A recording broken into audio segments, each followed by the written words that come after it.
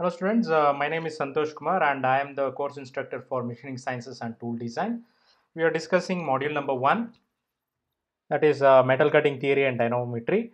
So in this uh, video we will discuss about uh, slip line field analysis.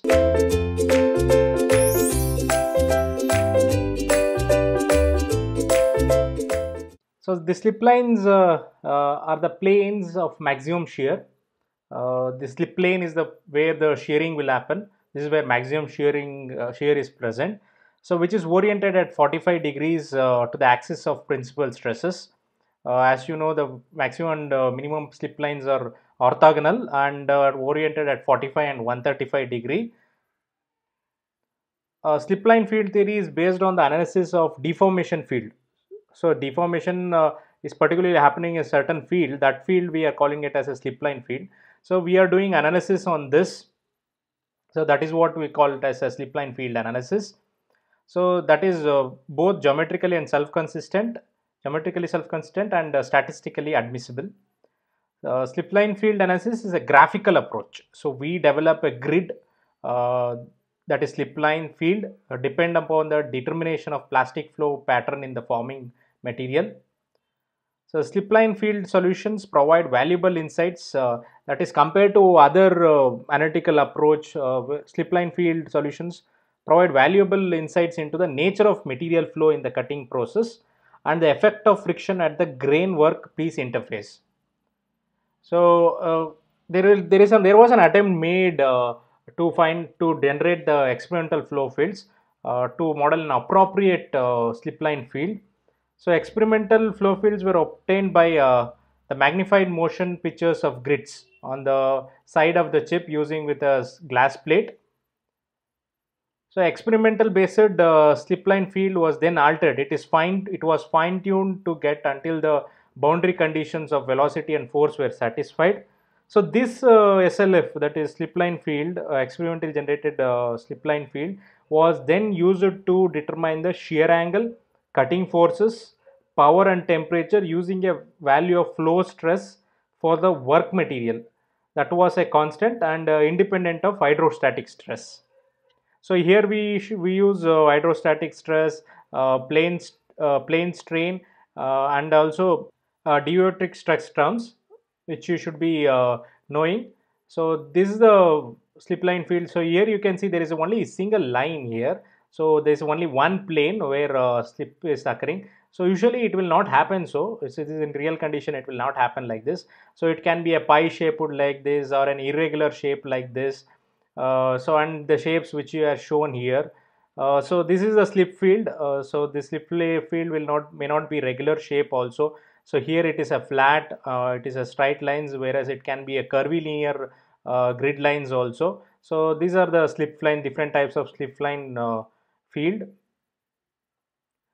So computer uh, was now was used to construct the slip line fields consistent with the experimental flow fields.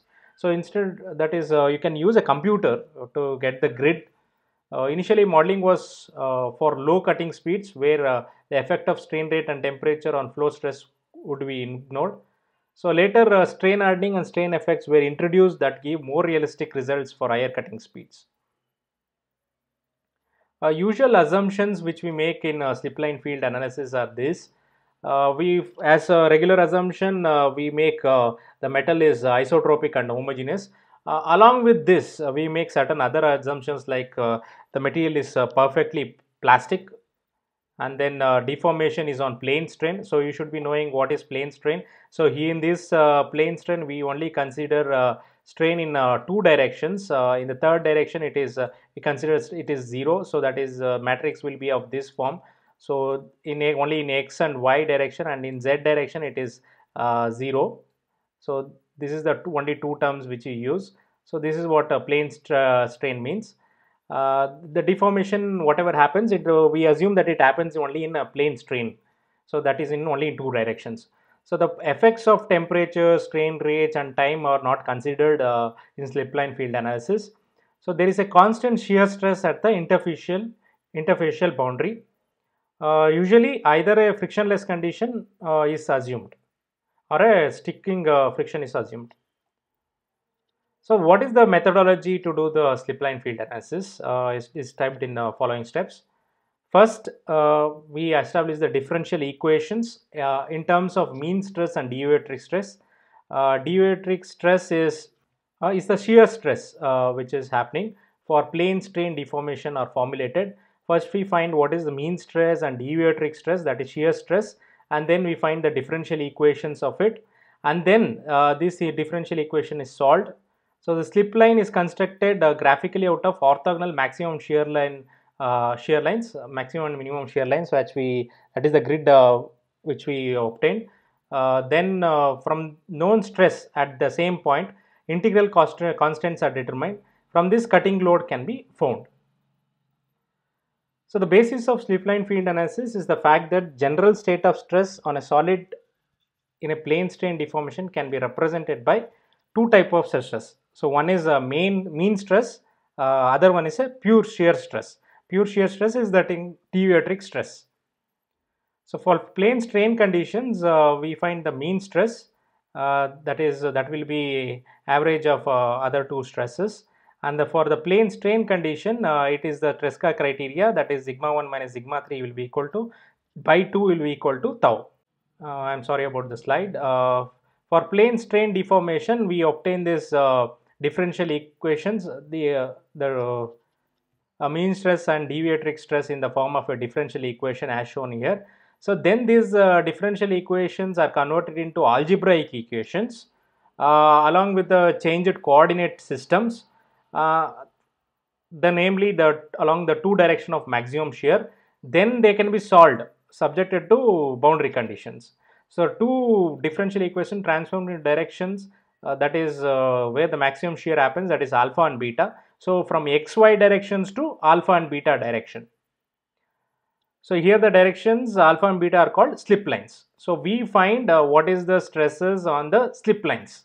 So using the stresses on x and y direction that is using mean stress and deviatoric stress uh, we convert it into differential form then we convert it into algebraic form along with the changing the directions we find what is the uh, stresses in the slip planes like uh, alpha and beta. So here is the example of it. Here in x and y direction you have sigma x and sigma y. So we find what is the uh, sigma 1 and sigma 2 and also we find what is uh, uh, mean stress and deviatoric stress and we change the direction inclination so that it is inclined with the slip line.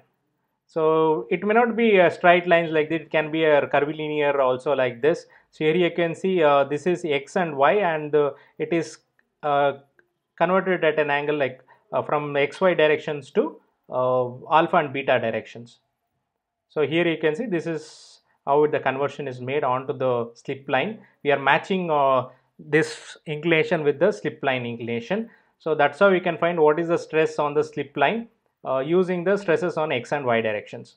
So this is about uh, slip line field analysis. Uh, we'll end this video here.